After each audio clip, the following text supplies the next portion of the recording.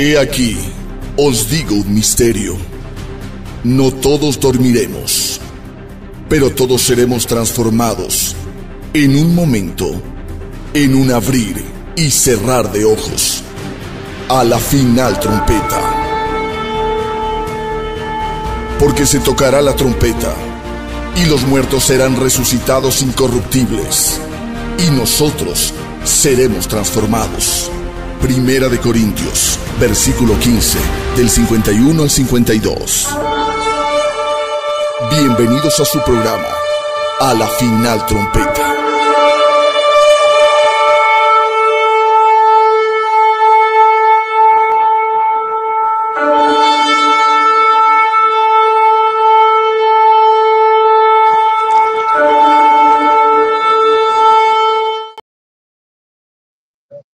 Buenas tardes, Ecuador y todo el mundo. Bienvenidos a este su programa, a la final trompeta. Hoy, quinto día de la semana, jueves, y es el último día de nuestra transmisión por esta semana con la bendición del Señor nuestro Dios. Ya ustedes recordarán que estamos de lunes a jueves, todos los días, a las seis de la tarde, hora de Ecuador, siete de Bolivia, ocho de Argentina y diferentes horarios en diferentes partes del mundo donde se encuentre. Muchas gracias a todos ustedes, hermanos queridos, por darse cita con nosotros, por orar con nosotros, por aprender con nosotros y motivarnos los unos a los otros para orar los unos por los otros. Muchas gracias de todo corazón. Y también, amigos míos, ya saben que a la final del programa, los que deseen el PDF para la prédica de este domingo, que está buenísima, una de las grandes necesidades de todo ser humano, hermano, es justamente cómo ser feliz. El elixir de la felicidad. Ahí está. Doblemente feliz.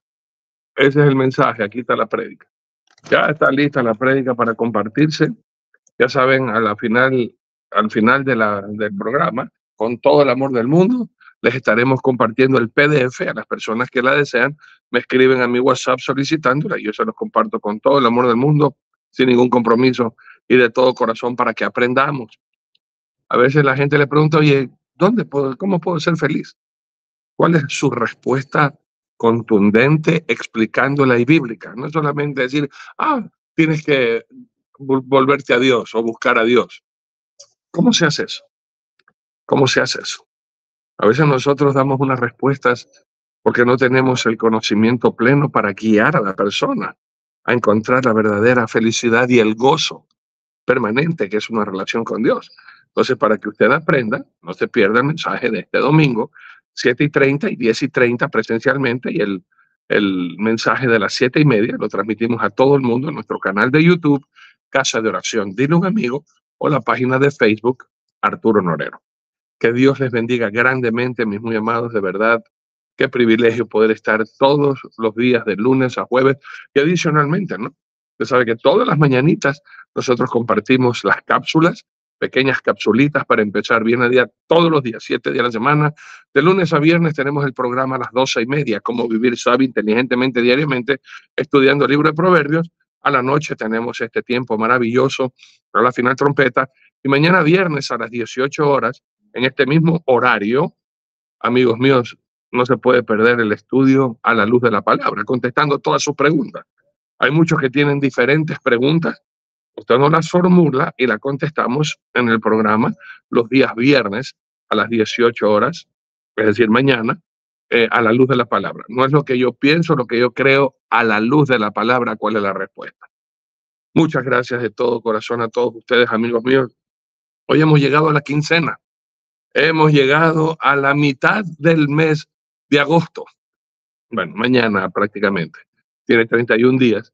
Así que que Dios les bendiga grandemente a todos ustedes, hermanos, que trabajan, que reciban su pago justo, abundante, generoso, y no se olvide de nosotros, el ministerio del doctor Zavala, de mi pastor Luis Antonio Daimon, el de este su servidor, para seguir haciendo toda la obra que Dios nos ha encomendado. Les amamos de todo corazón. El doctor Nelson ya mismito ingresa con la bendición de Dios, ya mismo está por ingresar. Ya estamos nosotros aquí listos para servirle. Hacemos el paso allá en la ciudad Río Blanco, me imagino, allá donde está mi pastor Luisinho Toniño Dudaimon en Brasil. Adelante con el saludo, mi muy amado. Buenas tardes. Gracias, mi querido pastor Arturito. No se le oye. Dios, Dios, ahí ya está. Ahí se oye. Y no tiene bloqueado el, el, el, el micrófono. No. Sí tiene audio. Ahí, ahí. A ver, hable. Hola, hola, hola. Sí se escucha. Ya, gloria a Dios. Increíble. Bueno, mi pastor Arturito, un beso en pleno cachete, un fuerte quebra costillas. Yo no escucho. ¿Qué no le pasa pasando? A ver, a ver. Usted sí lo escucha. El suyo es mi teléfono el que está mal. Ah, Usted sí tiene, escuche. Yo de regreso, que tengo que resetear esta sala. Usted salude y ya vengo enseguida. Perfecto. Bueno, hermanos, los saludamos con la bendita paz de nuestro Señor Jesucristo. Como es habitual, estamos nosotros en este horario, llegando a sus hogares, a sus casas o en el lugar donde usted se encuentre para impartir y compartir la bendita palabra de nuestro Dios. Hoy día el tema, envidia. Vamos a conocer qué es en sí la envidia. La envidia obviamente no viene de parte de Dios. Esto viene necesariamente del corazón de, del mismo Satanás, que él sí tuvo envidia y también por eso vino su caída pero bueno, le damos gracias a Dios de que nos da el honor y el privilegio de poder impartir y compartir su bendita palabra. Queremos agradecerles a todos los hermanos que nos aman, que nos apoyan, que nos ayudan con sus oraciones. Hay muchos que ayunan incluso por nosotros y muchas gracias por esto. Gracias por sus diezmos, por sus ofrendas, porque sería imposible poder realizar la obra sin su apoyo, sin su colaboración. Vemos lo que está realizando nuestro querido pastor Arturito en Haití, una tremenda escuela, gracias a Dios, donde serán preparados muchos niños. Y obviamente todo eso se hace con dinero. Sin dinero no se puede hacer nada. Y con seguridad que va a demandar mucho más de lo que se puede hacer en la enseñanza, porque son niños que van a llegar y van a tener expectativas de muchas más cosas. Entonces, gloria a Dios por esto. También nuestro querido pastor Nelson está expectante de poderle hacer la casa a este siervo. Qué bendición de Dios que está puesta su confianza en Dios y qué mejor cosa que sea una iglesia cristiana evangélica quien le hace una, una fundación de Cristo, que le hace una casa, ya que todo se lo llevó el fuego. Y bueno, o sea, realmente Dios es bendito.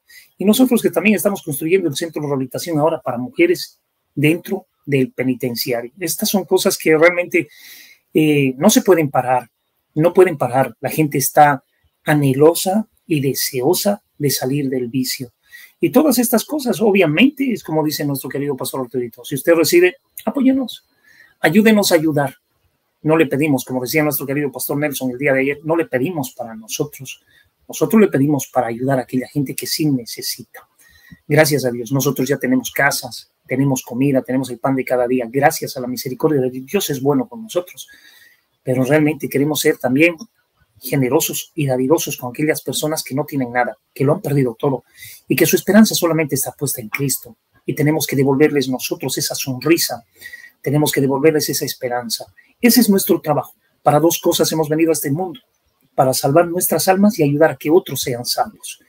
Les amamos mucho, muchas gracias por este tiempo. Gloria a Dios, que Dios bendiga su hogar, nuestro querido pastor Arturito, la obra que lleva adelante amamos mucho, gracias a Dios, Dios le ha dado mucho, mucho conocimiento y gracias a Dios por esto. Bendecimos su bendita vida, su bendita familia, tiene hijos preciosos, realmente una bendición de Dios.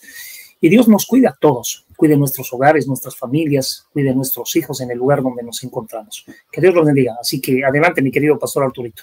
Aleluya. Muchas gracias, mi pastor Luis Antonio. Igualmente, que Dios derrame sobreabundantes bendiciones en todos y cada uno de nosotros y que Él se goce se goce, viendo cómo nosotros tratamos con todo nuestro corazón agradarle a Él, siempre orando los unos por los otros para no caer en ninguna tentación, andando siempre prudentes, bien juiciosos, discerniendo lo bueno y lo malo, huyendo de lo malo, abrazando lo bueno. Y ahí Dios nos, nos concede las peticiones en nuestro corazón de acuerdo a su buena, santa y agradable voluntad. Vamos a orar. Y hoy día, ¿qué pecado, hermano? Tiene que ver mucho con lo que hemos estado aprendiendo, especialmente el día de ayer. Envanecimiento, pero hoy día tiene mucho que ver, hermanos míos, la incapacidad de algunos al ver la prosperidad de otros. Hoy estaremos hablando del pecado de la envidia. Hoy, ¿Ha envidiado usted alguna vez? Y recuerden, no hay envidia sana. Hay personas que dicen, ay, yo tengo una envidia sana contigo, de ver tu hogar, de ver tus cosas. ¿Qué envidia sana? Mentira. No hay ninguna envidia sana como decir, ay, este veneno no es mortífero. el veneno te mata. Así es la envidia, como estaremos estudiando, guiado por el Espíritu Santo, nuestro Dios, a lo que ponga en el corazón de mi pastor, Luisinho Toniño Dudaño. Vamos a orar. ¿Me acompaña en oración? Papito Dios, te alabamos con todas las fuerzas del alma.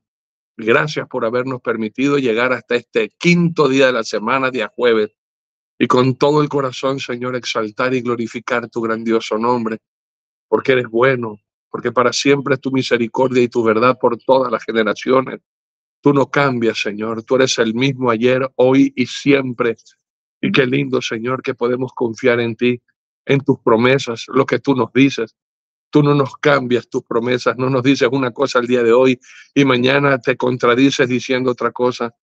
Oh, no, mi Señor, por eso tener fe en ti es la fe correcta, no como otras religiones u otros dioses u otros profetas de esos dioses que dicen una cosa, después se contradicen, un día dicen una cosa, mañana otra. Tú no, mi Señor, y tu palabra ha durado, como tú mismo lo dijiste, que todo pasa, cielo, tierra, pero tu palabra que es eterna, nunca pasa, y por eso qué bello, Señor, que nos has dado ese entendimiento para aprender a confiar en lo que tú has dicho, y si tú lo has dicho, pese y pase lo que pase y pese lo que pese, Señor, creeremos que se cumple lo que tú nos has prometido. Por ende, mi Señor, confiamos en que tú tienes el control en Israel y que no pasa nada sin tu permiso y sin tu protección a tu pueblo. Asimismo a nosotros, Señor. Hay muchos que sufren por enfermedades. Te rogamos, mi Dios, en el nombre de Jesús, por favor, mi Señor amado, ten misericordia y sánalos en el nombre de Jesús a todos los que tienen dolencia en sus pies, en sus articulaciones, en sus brazos, en su garganta, en su espalda, en el hígado. Señor, mi Dios, en los riñones, en el intestino, en la nariz, en la tráquea, el corazón, Señor. Personas que tienen dolores en su espalda, en el pecho. A todos aquellos, mi Dios, que sufren en el nombre de Jesús. Reprende toda enfermedad, seca toda enfermedad grave. Mi Dios, por favor, manifiéstate poderosamente, te lo rogamos y te lo suplicamos. Por aquellos que sufren en sus matrimonios por causa del adulterio, el maltrato, la infidelidad, la deslealtad. Mi Dios amado, ten misericordia y restaura el hogar con ese verdadero y perfecto amor que tú nos has enseñado, ese amor que da, no que quita, ese amor que es fiel, no comparte ese amor con nadie que no sea su cónyuge. Por favor, mi Señor, sana las heridas que a veces nos causamos por falta de conocimiento. Cuida a nuestros hijos y nietos. No permitas que caigan en ningún vicio ni en ninguna adicción. Aléjalos de todo aquello que quiera alejarlos de ti. Están en tus manos. Protégelos como la niña de tus ojos, Señor. No permitas ningún mal hacia nuestros hijos y nietos ni de nuestra familia.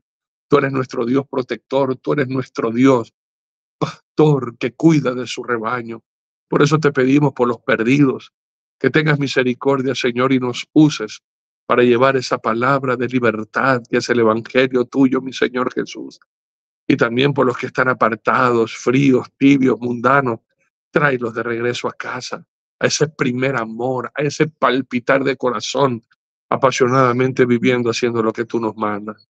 Mi Dios amado, por los que no tienen trabajo, te suplicamos en el nombre de Jesús, por aquellos que andan buscando el trabajo digno y honroso para llevar el sustento a casa, bendíceles y permíteles, Señor, que puedan conseguir por aquellos que están solos y solas y te piden conocer a esa pareja idónea para formar un hogar.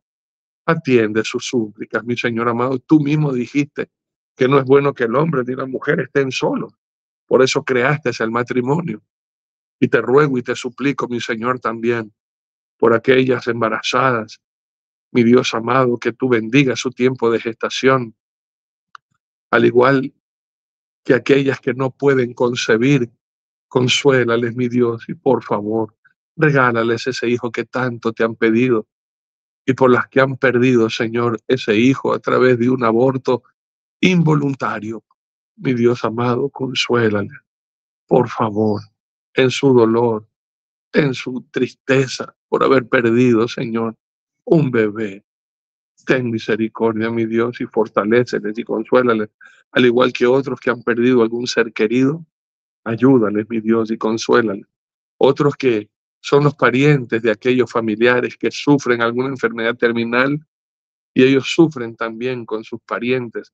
Bendíceles, mi Dios amado, por favor, y fortaléceles en el nombre de Jesús por aquellos que te han suplicado y están a punto de cerrar esos contratos, esos negocios, esos clientes, esas ventas, y te suplican, por favor, tu bendición. Háganse conforme a tu voluntad. Los que tienen juicios y demandas y han esperado tanto tiempo, Señor, y siguen esperando. Y tú sabes, mi Dios, que la justicia debería estar de su lado, pero la gente malvada, Señor, no les quiere pagar y demoran, Señor, esos juicios y esos trámites Hazles justicia, mi Señor Dios, tú eres el Dios justo y clamamos ante ti por la vida de nuestros hermanos. Hay algunos que tienen otras peticiones, mi Señor, las ponemos delante de ti pidiendo y rogándote, por favor, que tengas a bien escuchar y ayudarnos en todo lo que te pedamos. Y ahora, Señor, instruyenos y enséñanos a estar contentos y felices con lo que tenemos y a esforzarnos y a trabajar y con tu ayuda poder conseguir lo que deseamos sin tener ninguna envidia a ninguna persona, de ninguna manera, como a ti te agrada y como nos vas a enseñar el día de hoy. Te damos la honra y la gloria y te agradecemos por todo. En el nombre de Cristo Jesús, Señor y Salvador nuestro. Amén y amén. Muy bien, mis muy amados, sacamos Biblia, papel y lápiz, una actitud enseñable. Y vamos a seguir aprendiendo sobre este terrible, terrible pecado, la envidia. Así que Preparémonos para recibir la palabra de Dios. Así que mi pastor Luis Antonio, adelante con la enseñanza, por favor. Gracias, mi querido pastor Arturito. Que Dios lo bendiga. La verdad, una bendición. Gloria a Dios por esto. Bueno, ¿qué es envidia? De acuerdo a psiquiatría, envidia es aquella persona que tiene falta de contentamiento en lo que tiene. No es feliz, no es agradecido. Entonces, obviamente es una persona que como no es agradecida con lo que tiene, codicia lo que no tiene. Y a veces la envidia, como enseñaba mi hermano y decía, ni siquiera es que, que quieras tener lo que el otro quiere, digo, que el otro tiene, sino que no quieras tener tú ni él lo que tiene. Increíble. Y más, mucho más allá. Entonces, realmente las personas que no son felices con lo que Dios les ha dado, son infelices. Y una persona infeliz tiende a ser amargada. Y de acuerdo al proverbio que el mismo pastor Arturito nos pasó aquí en Proverbios 14, 30, nos habla, dice, el corazón apacible es vida de la carne, mas la envidia es carcoma de los huesos. Come, a uno lo deshace. No hay peor cosa que el dolor de huesos, querido pastor Arturito. El dolor de huesos, sí, qué cosa, realmente. Y esto había sido como un carcoma, o sea, que se va comiendo, que va desgastando, que va matando, que va trayendo dolor. El corazón del envidioso, muchos envidian la mujer del prójimo, no la tienen, no la pueden tener y envidian. Muchos envidian la casa del prójimo que es un mandamiento, no codiciarás. Pero, de todos modos, es la envidia no solamente que viene la codicia, sino que viene dentro de todo. ¿Por qué tiene que tener él y no lo puedo tener yo? Porque sencillamente cada quien tiene lo que Dios quiere darle.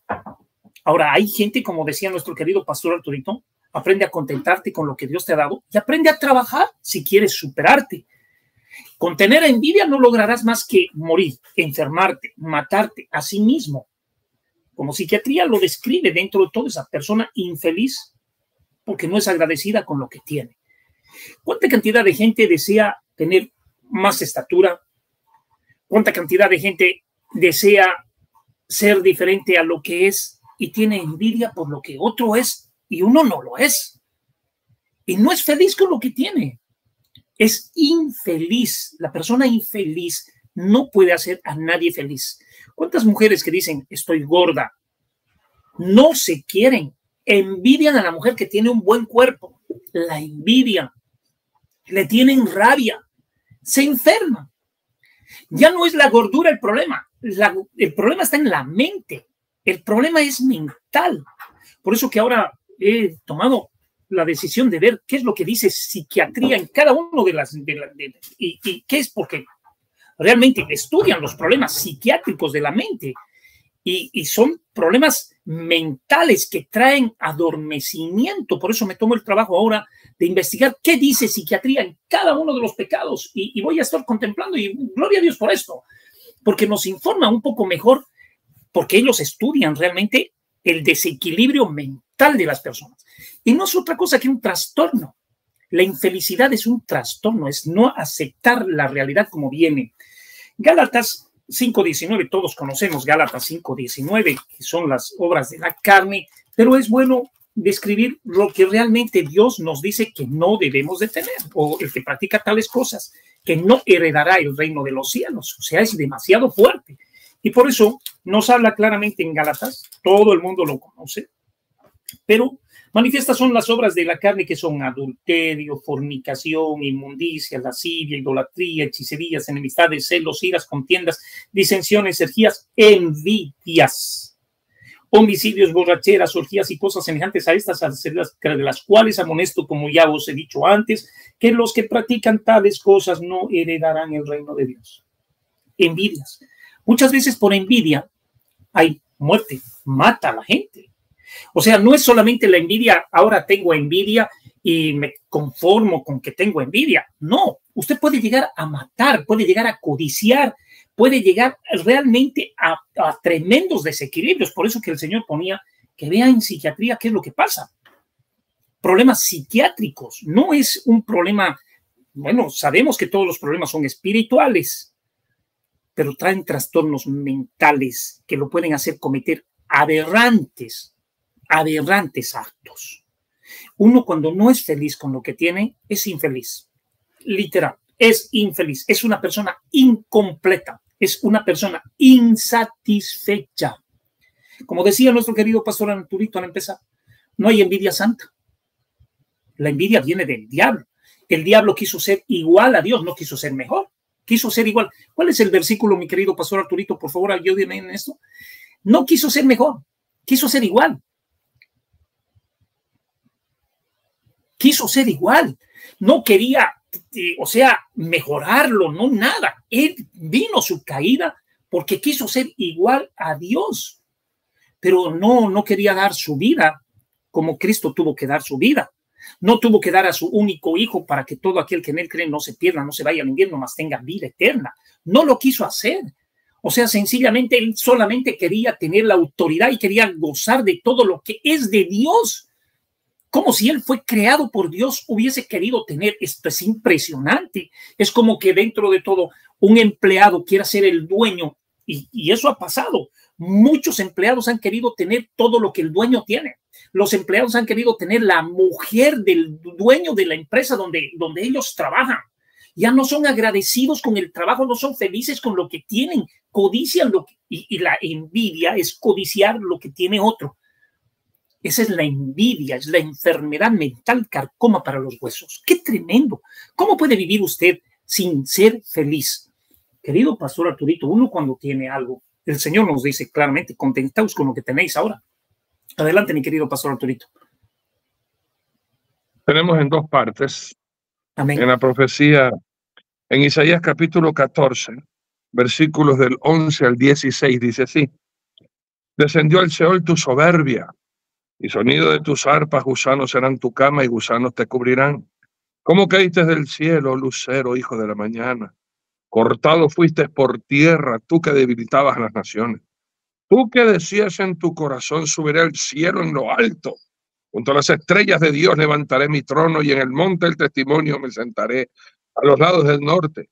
Sobre las alturas de las nubes subiré y seré semejante al Altísimo, igual a Dios. Mas tú derribado eres hasta el Seol, a los lados del abismo. Se inclinarán hacia ti, los que te vean te contemplarán diciendo, ¿es este aquel varón que hacía temblar la tierra, que trastornaba su reino? Y en el libro de Ezequiel capítulo 28 del 14 al 17 dice, tú, querubín grande, protector, yo te puse en el santo monte de Dios. Allí estuviste en medio de las piedras de fuego, te paseaba. Perfecto eras en todos tus caminos desde el día que fuiste creado hasta que se te halló en ti maldad. A causa de la multitud de tus contrataciones fuiste lleno de iniquidad y pecaste, por lo que yo te eché del monte de Dios y te arrojé de entre las piedras del fuego, querubín protector. Se enalteció tu corazón a causa de tu hermosura, rompiste tu sabiduría a causa de tu esplendor. Yo te arrojaré por tierra, delante de los reyes te pondré para que miren en ti. Tremendo, qué tremendo. Era el querubín protector, era acabado en hermosura, tremendamente sabio, tremendamente hermoso, lo tenía todo. No necesitaba ser igual a Dios, contener lo que ya Dios le había dado. Mire, yo le voy a decir una cosa. Usted tiene ojos, gracias a la misericordia de Dios, tiene manos, tiene pies, sea feliz como es. Hay muchas mujeres que agarran y se hacen operar porque dicen, quiero verme joven, quiero ponerme silicona, quiero arreglar mi apariencia.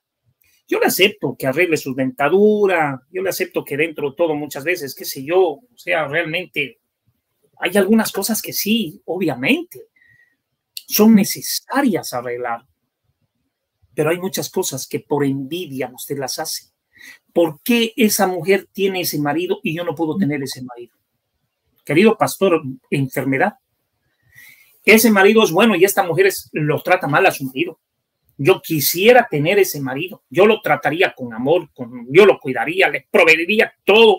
Uh. Y no es feliz con lo que tiene. No es, no es feliz con el marido que tiene. No se contenta. Y dice claramente la Biblia que el que no ama a su mujer a sí mismo no se ama. No se ama. O sea, no hay amor.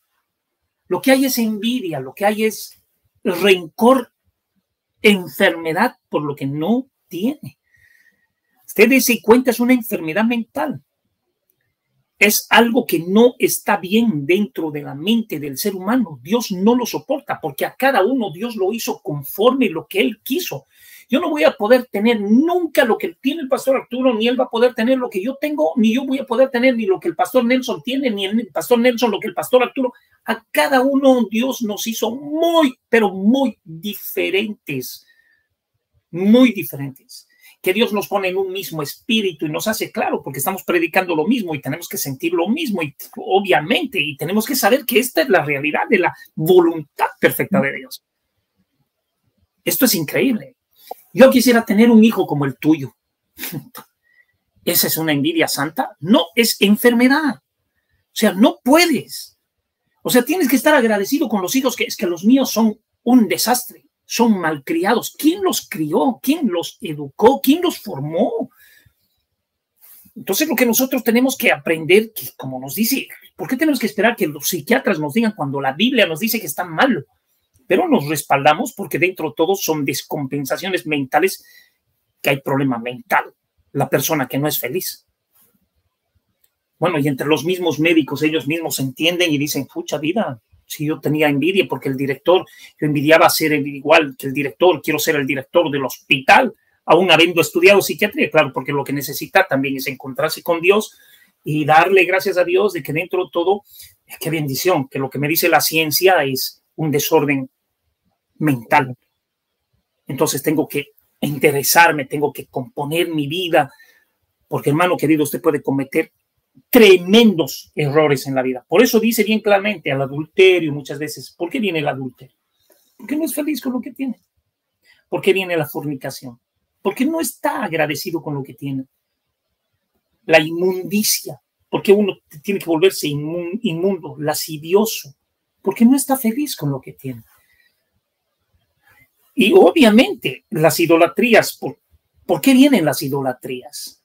Porque uno quiere tener y procura postrarse ante otros dioses y ser un tirano y ser realmente una persona desequilibrada, no ser sensato, no ser coherente, no ser agradecido con lo que Dios le da a uno.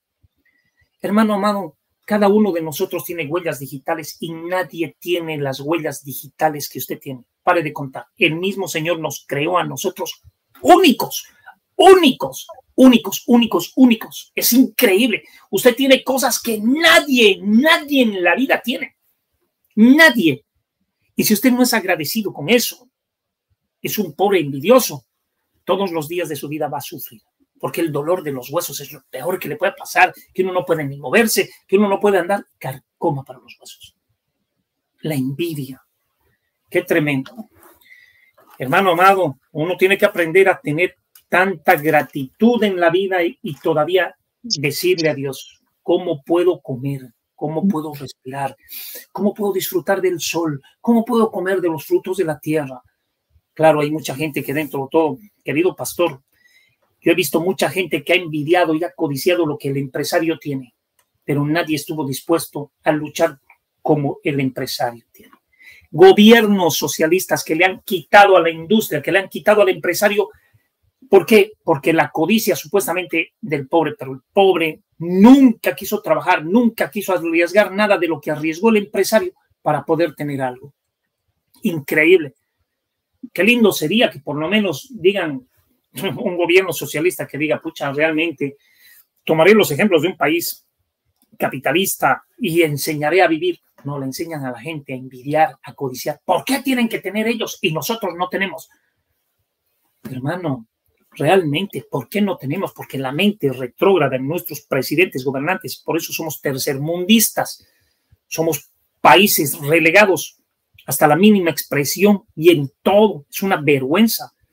Querido pastor, nosotros en, la selección boliviana hemos salido después del último. Increíble. Porque ya salir de último todavía hubiese sido mejor. Pero después del último, cada vez lo mismo. La mediocridad, la falta de integridad, la falta de compromiso, y queremos ser como Brasil, queremos ser como la Argentina. No, no se puede, si no hay esfuerzo, si no hay capacidad, si entran los, los mismos eh, dirigentes y roban todo el dinero. Increíble. Son los dirigentes los que se llevan la plata y pagan fortunas a los jugadores. ¿Para qué? Yo no entiendo. Se mueve cualquier cantidad de dinero para nada. Para nada.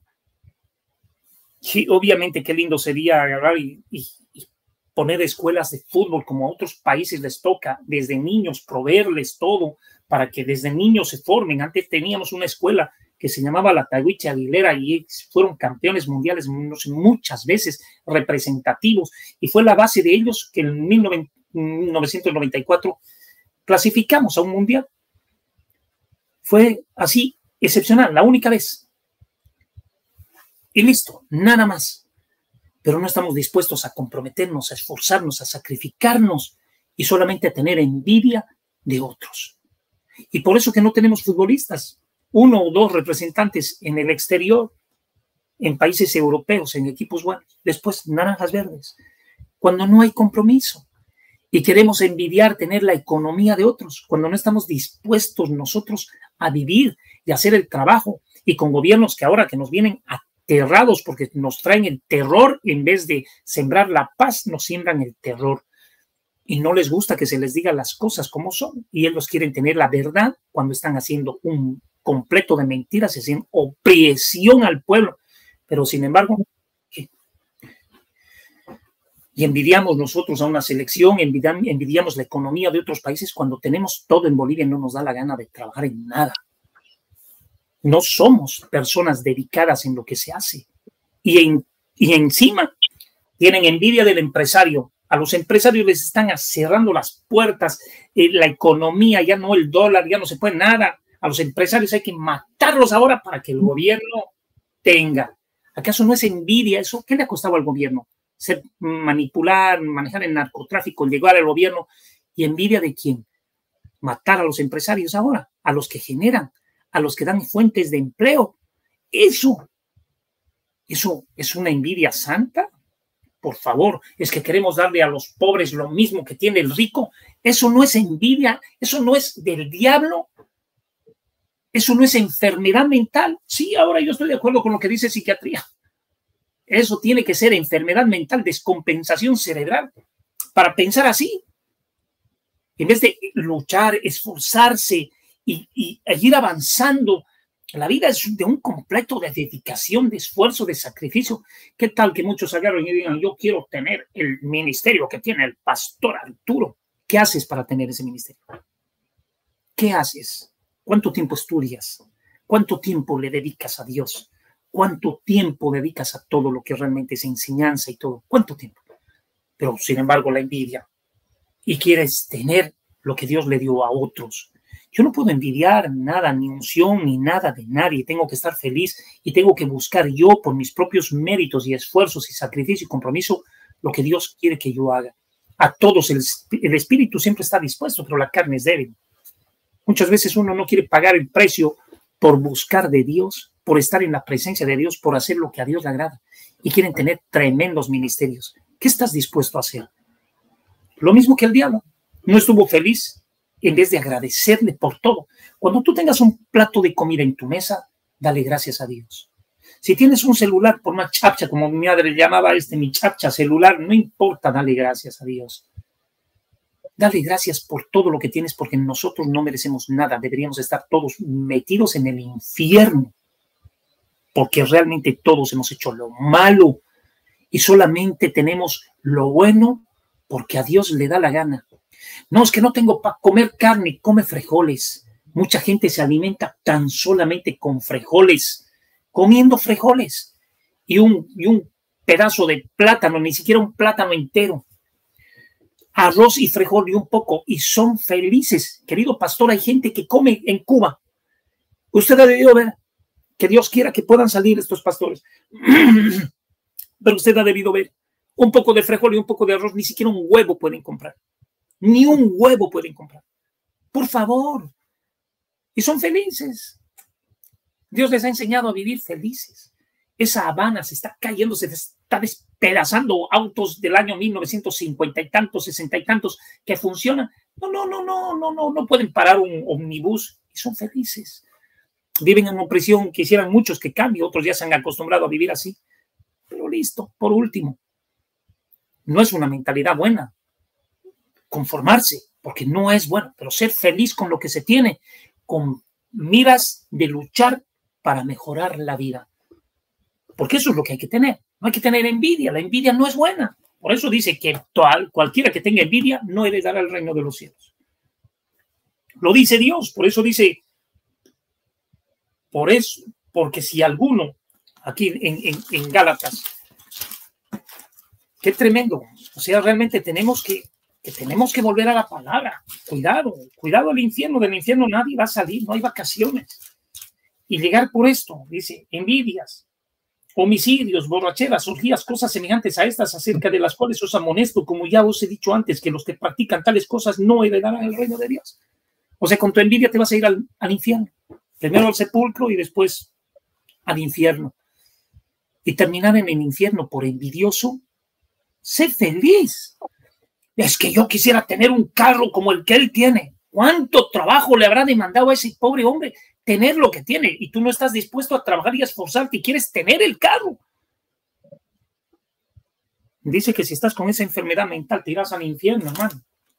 Vamos a leer Santiago, Santiago 3, 14 y 16, que nos habla y dice así, pero si tenéis celos amargos y contenciosos en vuestro corazón, no os jactéis ni mintáis contra la verdad si tenéis celos, muchas veces dentro de todo, mi mujer es hermosa, yo me siento que no, y empiezan a funcionar los celos, empieza a funcionar la envidia, y empieza a funcionar todo tipo de enfermedades así, que no están bien, desórdenes.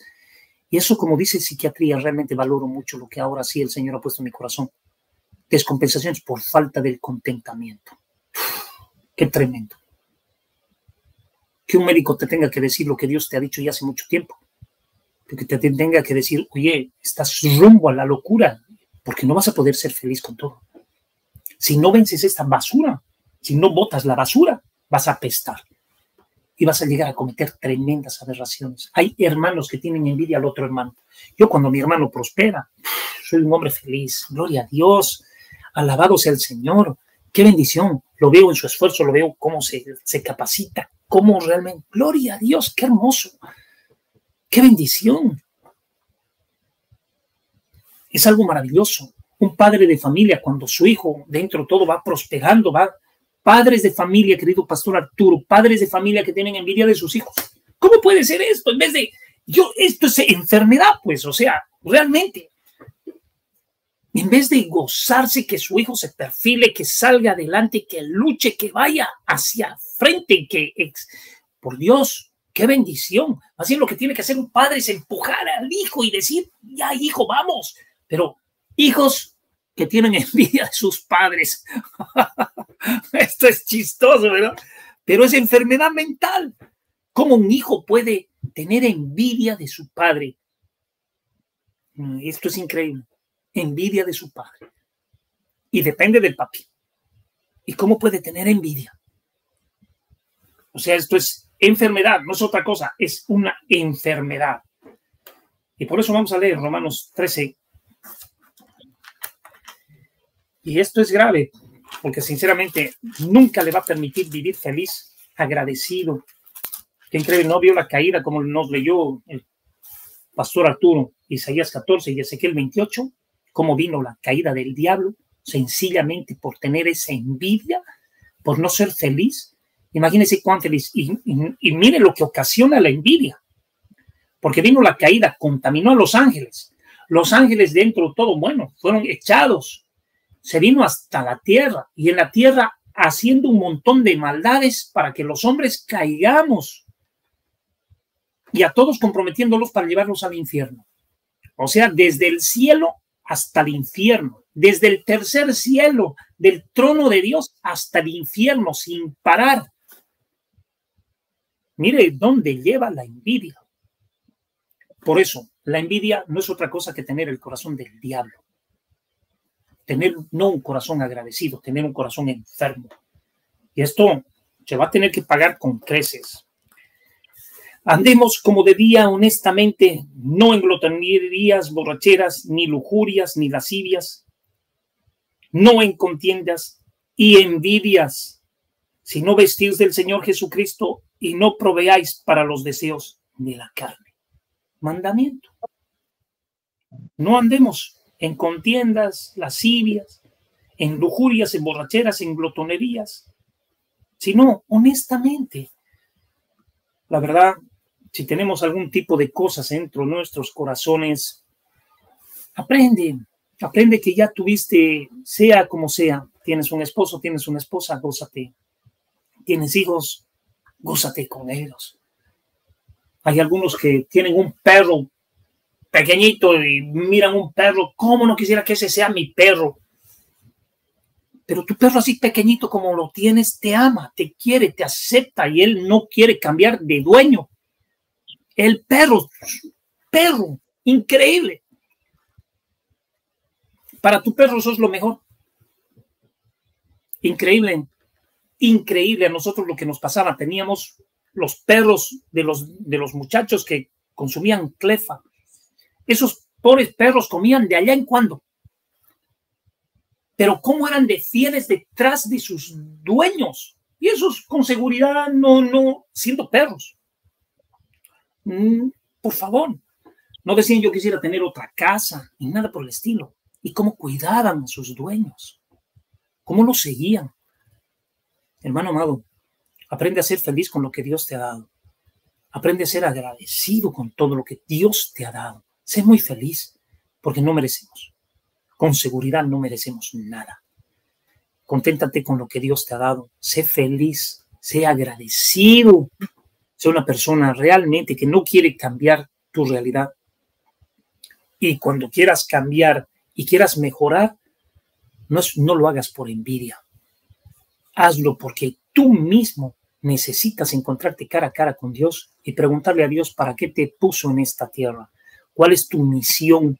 Pregúntale y Él con seguridad te responderá y te dirá, quiero que me hagas esto. Pondrá fuertemente en tu corazón o alguien vendrá y te dirá, las palabras de Dios, pero todos sabemos para lo que Dios nos ha enviado a esta tierra y nos ha impregnado para buenas obras.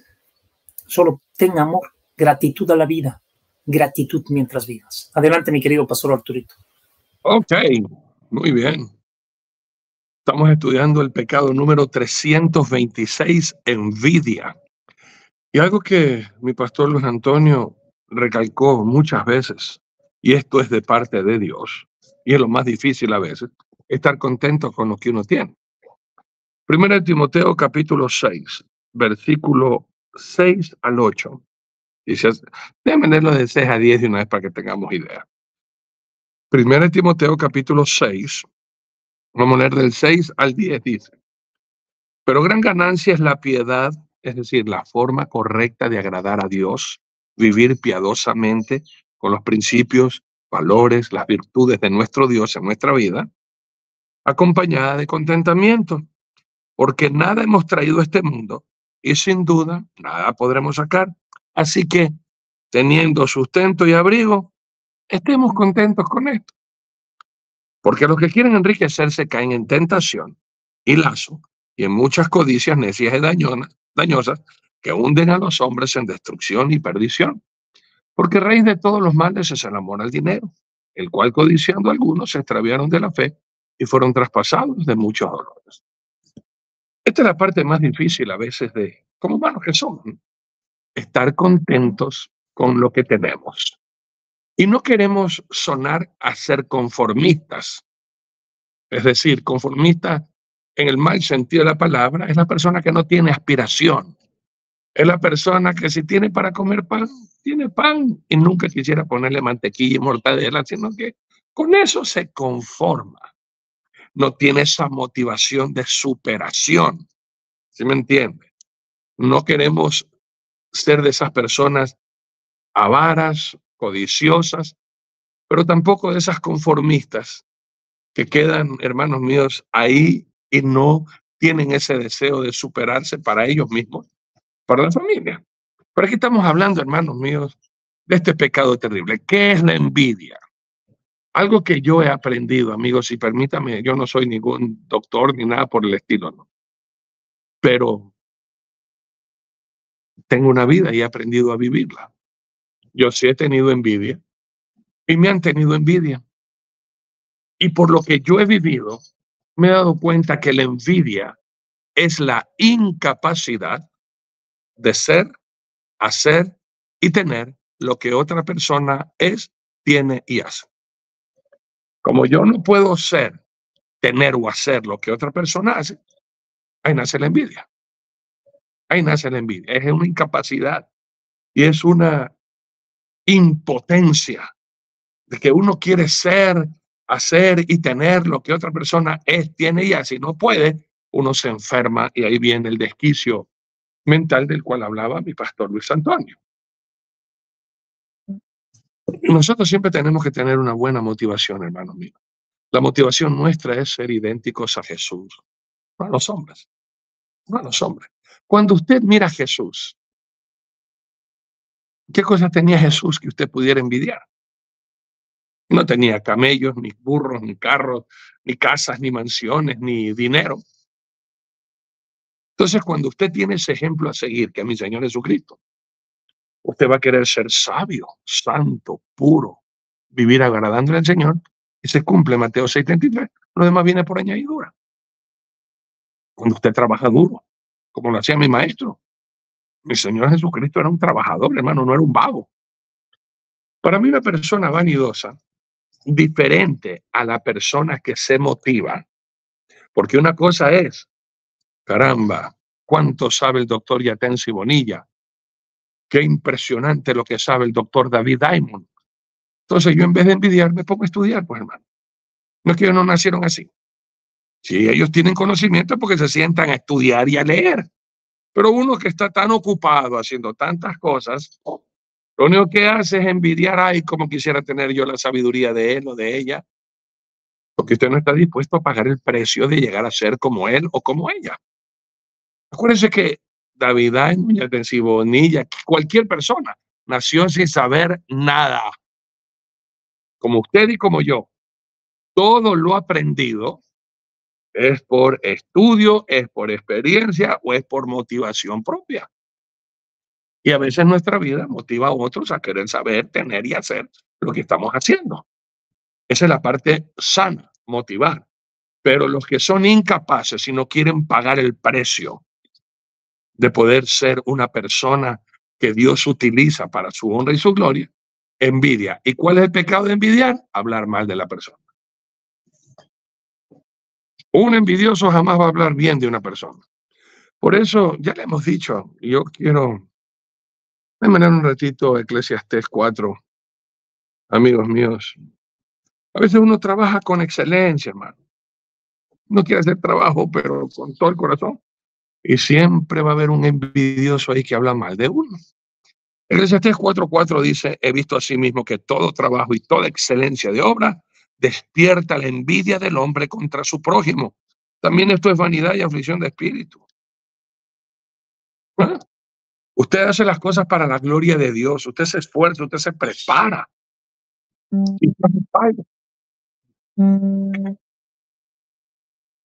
Y Dios respalda, porque ve la intención con que uno hace las cosas. Acuérdense que Dios es el Dios de trabajadores, no de vagos, ociosos, vanidosos y peor envidiosos. Entonces, ¿qué hace la gente? Comienza a sacar rumores, comienza a sacar calumnias. ¿Qué será que hacen esos pastores con el dinero? A mí no me dan ni dos reales. Yo, yo no he cogido ni un centavo. Allá entre ellos es el negociado. No ven las obras, ¿no? No ven las obras. Ven la envidia los ciega. Como bien decía el pastor Luis Antonio que enseña David Diamond, el envidioso no solamente que tiene envidia lo que tú tienes, que no lo puede tener, tampoco quiere que usted lo tenga. Si yo no me puedo ir a Israel, tampoco voy a querer que tú te vayas. Te voy a llenar de miedos, de sustos. Uy, esto está lleno de bombas y de terroristas. Como yo no voy, tampoco voy a querer que tú vayas y te voy a amargar para que no lo tengas. Es una persona que jamás se alegra. Usted se cuenta, por eso es muy importante a veces observar las fotografías, no solamente mirar si usted, porque a veces cuando se toma fotos y dice, a ver, déjame ver, déjame ver, usted no está viendo cómo están los demás, sino cómo está su cara, ¿verdad? Usted siempre tiene su enfoque en usted mismo. A veces es necesario que mire las caritas de los demás y cuenta que de pronto los que son sus amigos se gozan. En una graduación, usted está graduándose obteniendo algún diploma o algún título o alguna cosa, usted va a ver que muchos van a estar felices, pero va a verle la cara a uno que está envidioso, envidiosa. Y por eso tienen cáncer en el alma, se están pudriendo por la lepra de la envidia. No van a poder ser felices nunca, nunca, porque la envidia los corrompe, los, los corroe, como el óxido al hierro, al acero, lo corroe, lo, hace hueco, lo va destruyendo. Eso es la envidia, hermano. No, usted nunca va a ser feliz. Eh, la envidia es más o menos un ejemplo. Es como aquella persona que va a un restaurante y ha pedido, pero siempre va a querer el plato de la mesa de al lado. ¿Conoce esas personas así? Tiene su pedido, ya está el pedido, está listo, pero nunca va a estar contento con lo que pidió y siempre va a querer lo que pidió el otro. Esos son los envidiosos. Y nunca se alegran, agradecen por sus esfuerzos, sino que siempre quieren lo que tienen los demás y siempre están mirando lo que tienen los demás, porque no son felices.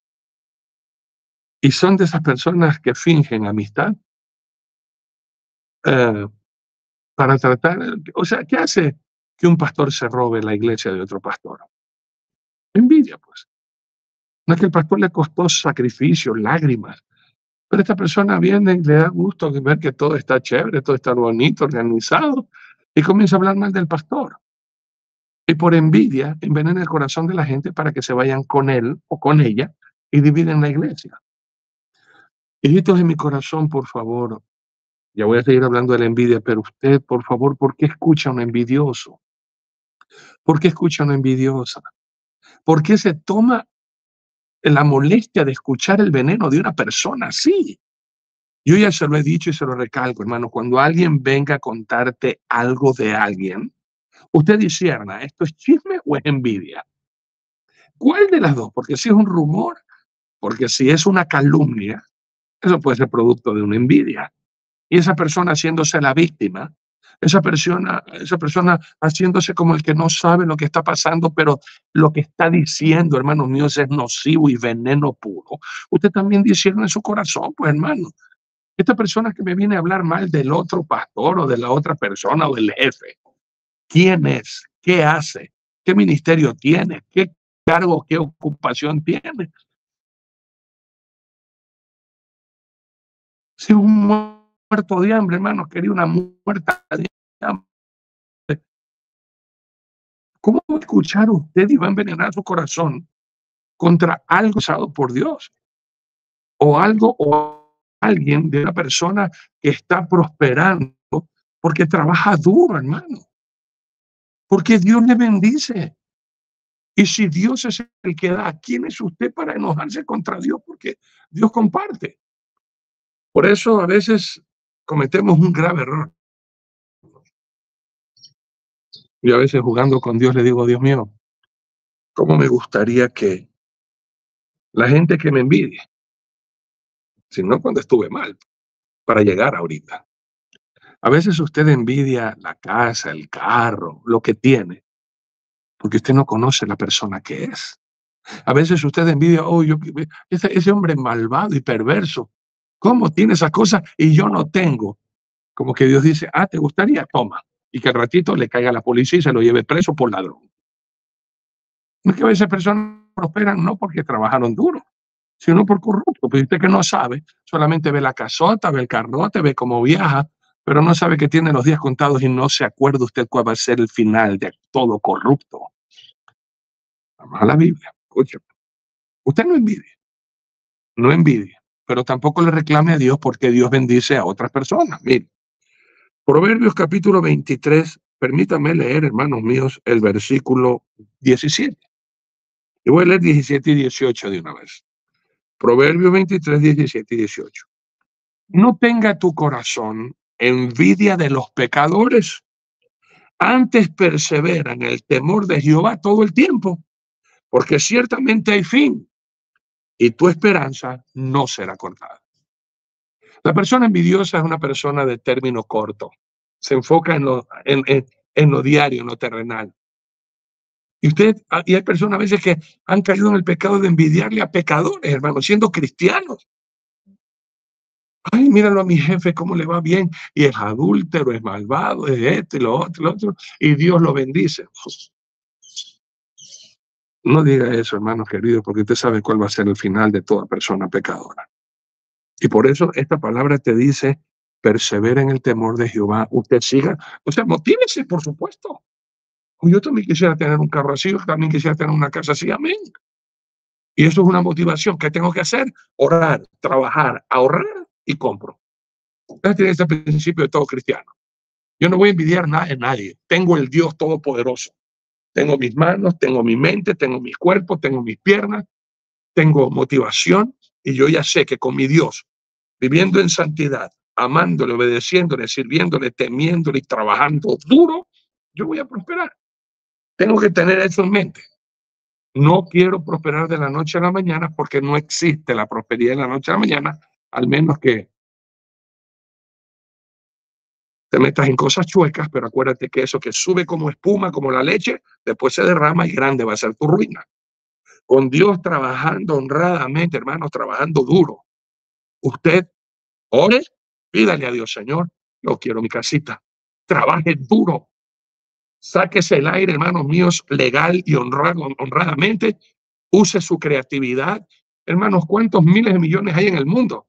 ¿Qué cosa puedo crear yo? Para que cada persona de este mundo adquiera lo que estoy yo pensando darle y ganarme 10 centavos. Imagínense en todo el mundo que es que uno no se sienta, hermano mío, sino es que envidia, ah, es que el otro tiene, hay otros que se sientan a pensar, ¿qué puedo yo hacer para prosperar? ¿Qué puedo hacer yo para que mi negocio crezca? ¿Qué puedo yo hacer en vez de estar deseando y envidiando a los demás? Yo hago unas ricas popusas, yo hago unos ricos hot dogs, yo hago unas ricas hamburguesas, ¿Qué puedo hacer yo para publicitar y empezar mi propio negocio? Esa es una persona que se motiva a hacer. hay otros que se motivan a envidiar y hablar mal de las personas que prosperan. Por eso Dios te dice, no, no estés envidiando a ningún malo, hermano. Usted sabe cuál es el fin de ellos. Y lo vuelve a recalcar, amigos queridos, en Proverbios 24.1. No tengas envidia de los hombres malos, ni desees estar con ellos, porque su corazón piensa en robar e iniquidad habla sus labios. Usted quiere prosperar, ilegalmente. Mire la vida de los narcotraficantes. ¿Cuántos no envidiaron a Pablo Escobar? ¿Cuántos no envidiaron decir, hoy este hombre malvado y perverso y mira cómo Dios lo bendice? Muchos pudieron haber dicho eso. Casa, carro, joyas, mujeres, todo lo que este mundo te da. ¿Cómo terminó? Como un perro asesinado en el techo de una casa y sus últimos años como perro. Bueno, ni siquiera como perro, hermano, porque el perro a veces tiene su casita, pete aquí, hermano, andando escondido con todos los millones del mundo y no poderlos disfrutar. Y ahorita, ¿dónde están esos millones enterrados por ahí? Hecho agua. ¿Y, cuántos envidiaron a Pablo Escobar, al Chapo Guzmán? ¿Te gustaría ser ahora el Chapo Guzmán? Lo envidias ahora. Ahora que está pudriéndose en la cárcel en los Estados Unidos y está encerrado en una reja. Ahora sí lo envidias, ¿no, verdad? Acuérdate cuál es el final de todo corrupto. El final de todo corrupto no es la felicidad y el contentamiento, sino la vergüenza, el dolor, la cárcel, el hospital o la morgue. ¿Saben? Hay un salmo que a mí, a mí me, yo me identifiqué mucho, ¿no? Porque también soy humano, hermano. Yo también, yo no le puedo decir que no he tenido yo envidia y me he tenido yo que arrepentir, hermano. ¿Cómo voy a tener que yo veo a veces, yo digo lo que dicen algunas personas, ¿no? Y espiritualmente. Señorita, esto es de falsa doctrina. Mira cómo prosperan. Sus iglesias, 20 mil, 30 mil personas, sus recursos, como un millón mensual. Y nosotros de sana doctrina, poca gente que ni diezma, no está comprometida. Y a pesar de que uno se esfuerza, trabaja duro, enseña la palabra, y como que a veces uno quiere hacer lo que hacen los demás, ¿verdad? Uno como que quiere torcerse. Humanamente hablo. Hasta que viene uno y lee el Salmo 73. Ah, hermano. Permítanme leer estos 28 versos de este salmo maravilloso, para que ustedes no caigan en el error de querer codiciar lo que tienen los malvados, porque acuérdense el final de ellos, y para los que amamos a Dios y caminamos en integridad delante de Dios, ¿cuál va a ser el final nuestro?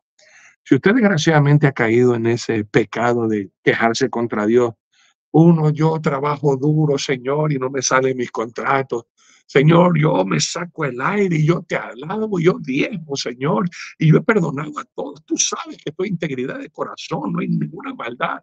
Y no me salen esos negocios, pero mira este malvado, borracho, no le roban los empleados, ni siquiera es justo. Y usted no se está comparando haciéndose mejor, sino que sinceramente es poner la causa delante de Dios. Míralo, hace cosas chuecas, hace cosas torcidas y le dan los contratos a ellos que lo hacen mal y no a nosotros, Señor. ¿Qué pasó?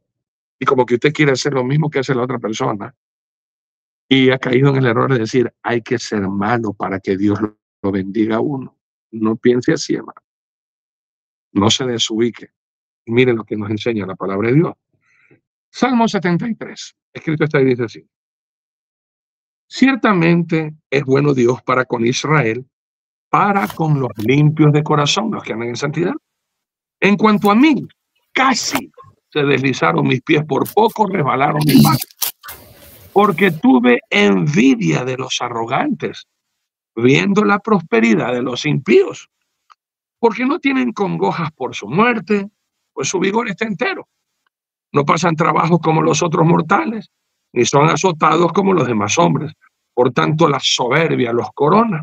Se cubren de vestido de violencia los ojos se les saltan de gordura, logran con creces los antojos del corazón, se mofan y hablan con maldad y hacer violencia, hablan con altanería, ponen su boca contra el cielo y su lengua pasea la tierra.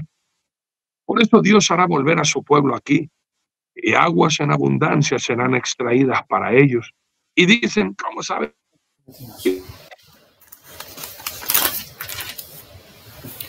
el conocimiento en el Altísimo. He aquí estos he aquí aquí estos impíos, sin ser turbados del mundo, alcanzan.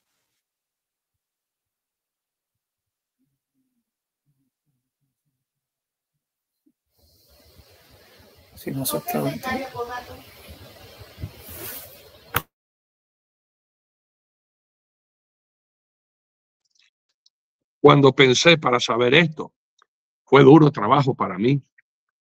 Hasta que entrando en el santuario de Dios, comprendí el fin de ellos.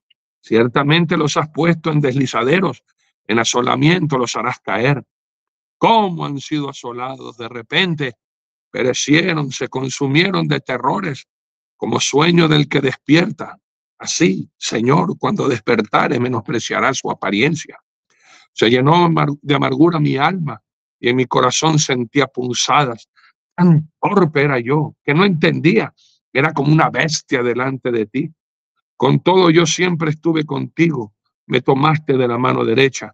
Me has guiado según tu consejo y después me recibirás en gloria. ¿A quién tengo yo en el cielo sino a ti? Y fuera de ti nada deseo en la tierra. Mi carne y mi corazón desfallecen, mas la roca de mi corazón y mi porción es Dios para siempre.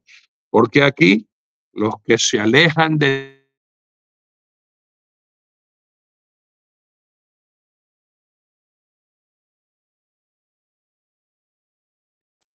Jehová el Señor mi esperanza para contar todas sus obras.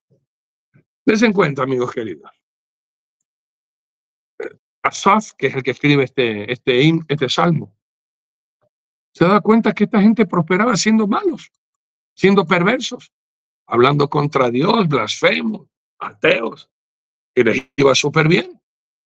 Y él también quiso hacer lo mismo, porque haciendo las cosas correctas era acusado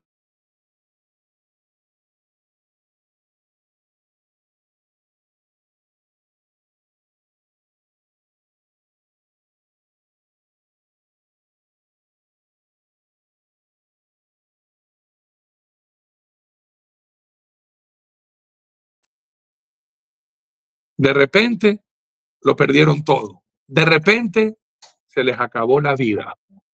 ¿Y ahora? ¿Y ahora, hermano? Recalco, a veces uno tontamente, ¿no? Ve al jefe que llega en su carrazo y uno dice, ¿cómo quisiera ser como ejemplo? Usted no sabe el infierno que vive en su casa su jefe. Usted no sabe pronto sus hijos adictos a la droga. Usted no sabe de pronto que se pelea con la esposa y viven como perros y gatos. Usted no sabe nada de esas cosas.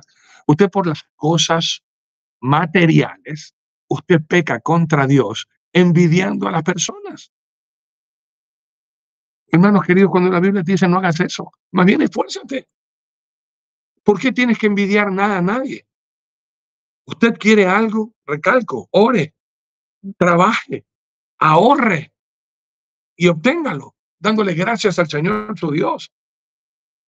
Sino que usted quiere ser, como dijo el pastor Antonio, de la noche a la mañana llegar a ser como es su jefe que ya tiene 70 años y que toda su vida se fajó trabajando y llegó hasta esa edad teniendo lo que tiene, pero no fue de la noche a la mañana. Hermano. Acuérdese que las riquezas que se adquieren deprisa y son ilegales no se van a poder disfrutar. ¿Cuántos conoce usted de corruptos? Que mientras están en la corrupción, Ay, ¿cuánto? Dice, yo quisiera, mira, yo quiero serme político para tener todo lo que ellos tienen. Qué tristeza que muchos la motivación sea la corrupción. No dice yo quisiera ser político para acabar con la corrupción y la riqueza del país genere más trabajo, más empleo, y yo haciendo un trabajo correcto, pues me sigan eligiendo y seguir ganando mi sueldo honradamente y haciendo las cosas correctamente. Yo creo que la motivación de uno es como quisiera ganarme la lotería para no tener que trabajar. ¿Cómo quisiera encontrarme un bulto que se le haya caído de un carro blindado, un saco con un millón de dólares? Siga soñando en cosas que nunca van a pasar y perdiendo el tiempo en bobadas en vez de ponerse a trabajar. ¿Qué puedo hacer yo para generar un millón de dólares sin robar y trabajando duro? Te lo hemos dicho, hermano. De empleado difícilmente usted va a prosperar. Usted quiere prosperar, créale a Dios y empiece su propio negocio. empiece esa ese emprendimiento que Dios le ha puesto en su corazón y que por envidia algunos dicen, no, eso no va, eso no va a prosperar, eso no va a surgir, eso no va, no tiene futuro. Usted no le haga caso a la gente, hermano. Usted le caso a Dios. Y si usted tiene una llama en su fuego, en su corazón que le quema por hacer algo, por emprender algo, hágalo. Hágalo, hermano. Hágalo. Si no le sale bien, vuélvalo a intentar y esta vez con la experiencia y, y, el conocimiento para no volver a hacer las cosas equivocadas. Y no codicie, no envidie a nadie nada. Hermano, tenemos el Dios Todopoderoso en vez de enfocarte en una persona o en una propiedad o en una cosa material. Enfóquese en el Dios que te puede dar todas las cosas. Pero Dios te las da, hermanos míos, no solamente pidiéndole, sino usted forzándosela para conseguirla. Pues. Recalco, hermano, usted quiere su casita, necesita la moto, necesita la bicicleta. En vez de ponerse, ay, míralo como el otro tiene nada. Ay, mi Señor, yo te ruego que me ayudes con salud, con, con inteligencia, con, con sagacidad, con solicitud, trabajar. Yo quiero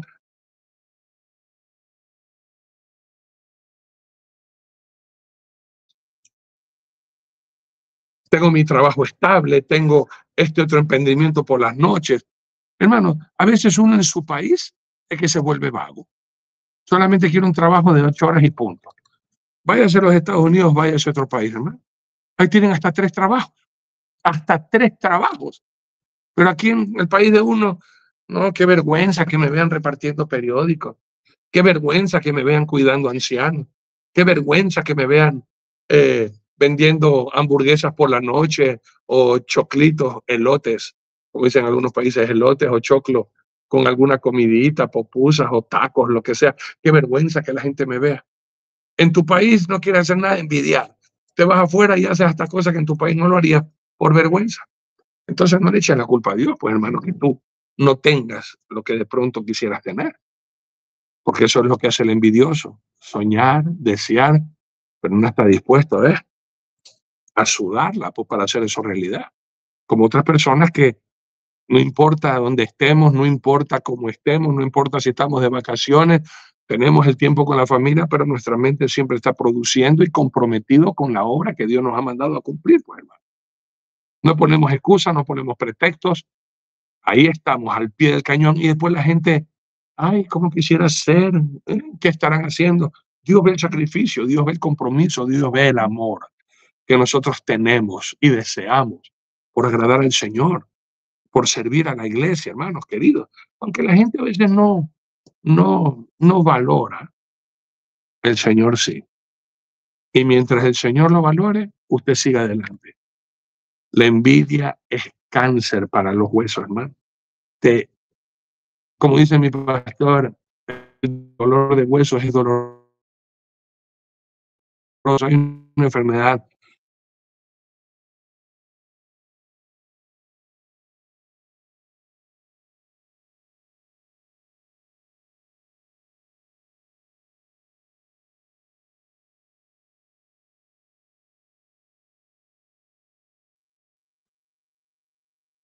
te tocas, ay, ay, ay, qué dolor, dengue, hermanos queridos. Eso es la envidia. Como estás lleno de envidia y envidioso y envidiosa, usted no puede prosperar. Usted nunca va a poder prosperar con un corazón así malvado. Cuando usted no se goza de la prosperidad de los demás, usted nunca va a prosperar porque está lleno Es triste a veces, es muy triste a veces Usted con tanto esfuerzo se compra su carrito, ¿verdad? Y los que le aman, viene la familia, ¡ay, qué lindo tu carrito! ¡Felicidades! Uy, hasta hacen fiesta, hermano. Pero siempre sale el envidioso. Ay, pero ese color, qué horrible. No te hubieras comprado mejor otro color. Tiene que verle un perro, hermano. Mientras todo el mundo te dice que es precioso, viene este envidioso, esta envidiosa. Uy, pero el interior no había otro color. Uy, ese color no me gusta. Uy, ese vestido no me gustó. El mundo, qué hermosa te ves.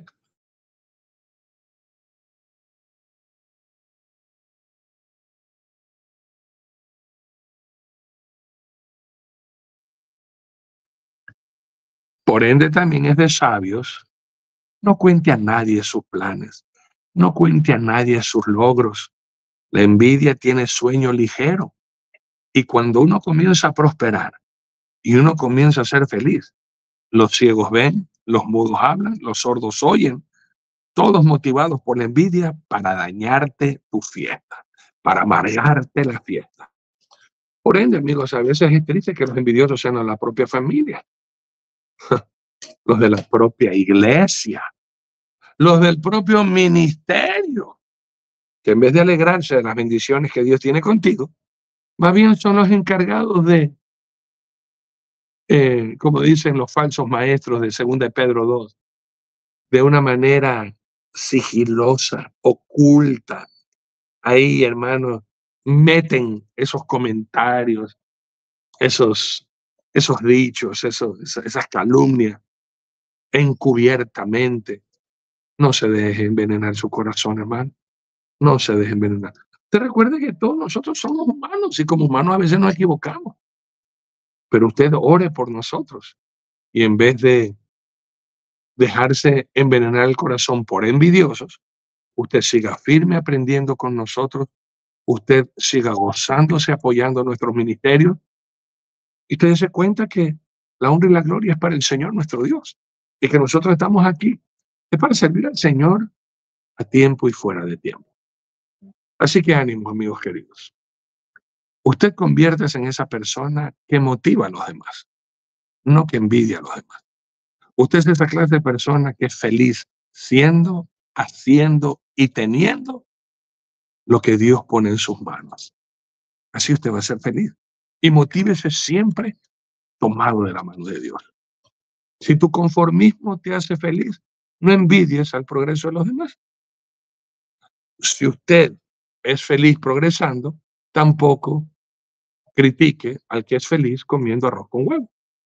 Seamos felices, viviendo cada uno su propia vida, mirando nuestra propia vida y siguiendo los ejemplos y mirando siempre a nuestro Señor Salvador Jesucristo. Palabras finales, Pastor Luis Antonio, por favor. Mi querido Pastor Torito, yo creo en la bendición de Dios y en Juan 6:27 nos dice algo que usted lo hizo, el pastor Nelson lo hizo, mi hermano lo hizo, yo lo hice, Raimundo lo hizo, y todos creo que hemos entendido esto, trabajar no por la comida que perece, sino por la comida que a vida eterna permanece, la cual el Hijo del Hombre os dará, porque a este señaló Dios el Padre. O sea, realmente tenemos vida eterna. Muchos, ¿por qué no anhelamos más bien, más ardientemente la vida eterna? porque tenemos que anhelar las cosas que hay en esta tierra. El Señor, Mateo 6, 33, como lo leyó nuestro querido pastor Arturito. Primeramente buscad el reino de Dios y su justicia y todas las cosas os vendrán por añadidura. Cuando uno trabaja para Dios, con Dios, las cosas están bien. Muchas veces nosotros codiciamos y ambicionamos porque no estamos en un enfoque y todo lo hacemos para vida terrenal. Pero si nosotros ponemos nuestro objetivo, nuestra meta y trabajamos para Dios, Dios, Dios, Dios, Dios, Dios es lo primero, creo que Dios se encarga de nosotros y es mejor. Entonces así no vamos a tener enfermedad envidia, no vamos a tener malas sospechas, no vamos a tener intrigas, no vamos a tener nada malo. Hermano querido, recordemos lo que los mismos psiquiatras dicen, que es una descompensación emocional el no ser agradecido con lo que tenemos. Arrepentámonos de esto. Que Dios tenga misericordia y busquemos realmente a Dios. Y Dios dice que fue tentado en todas las cosas, pero Él también nos ayudará a todos los que somos tentados. Descubra su maldad y deje de envidiar. Que Dios nos bendiga a todos. Adelante, mi querido pastor Arturito. Cuénteme qué va a pasar el fin de semana, mi pastor. Mi querido pastor Arturito, gracias a Dios voy a estar este domingo más aquí en la, eh, bueno, en, Bolivia, porque estoy en el Brasil ahora, pero voy a estar en Bolivia en nuestro culto en domingo a la mañana, 10 de la mañana, y nuestro culto en la noche a las 19.30 eh, horas desde el penitenciario de Villamucho. Amén. Aleluya. Compartiendo. Tenga cuidado de la envidia, hermano, porque por la envidia usted puede matar. Y si no me lo cree, ¿qué cree que motivó a los fariseos religiosos a condenar a Jesús? Mateo capítulo 27, Amigos míos, miren lo que dice la palabra de Dios. Amados,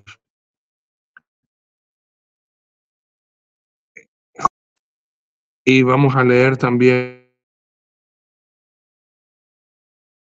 18, el 18 puntualmente. Mateo capítulo 27, 18 dice, porque sabía que por envidia le habían entregado. envidia, si yo no soy, no tengo y no hago lo que tú eres, tienes y haces, yo voy a encargarme de aniquilarte. ¿Y son cristianos? Para nada. Vamos a orar. Papito Dios, gracias por la palabra que nos compartiste en esta noche. A ti la honra y la gloria, Señor, por ser tan bueno, por bendecirnos con tanto, Señor. Perdónanos si hemos envidiado, perdónanos, Señor. Si no hemos estado contentos con la vida, la salud y las cosas que tú nos das. Perdónanos, Señor, si nos hemos quejado contra ti de una manera loca, Señor, sin entender que no nos podemos dirigir a ti con envidia, con altivez, prepotencia. Perdónanos, Señor, a veces, como estamos aprendiendo a través de mi pastor Luis Antonio, la envidia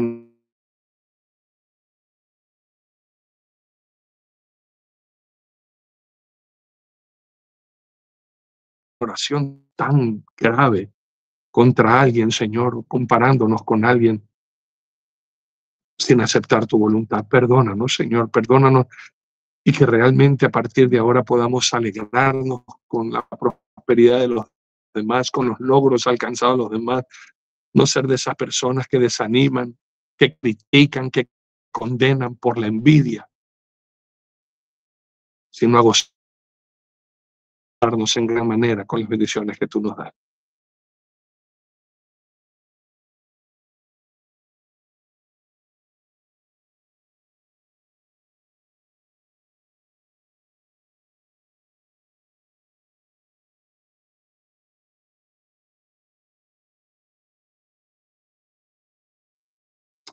Gracias por compartirnos sus diezmos y ofrendas. Les amamos de todo corazón. Gracias, gracias de verdad por tanto amor, por apoyarnos siempre. Que Dios les bendiga, que tengan un fin de semana espectacular. Y si el Señor no ha venido antes, nos volveremos a ver el lunes aquí en la final trompeta para todos juntos poder proclamar, hay vida en Jesús, tiene un amigo. Feliz fin de semana.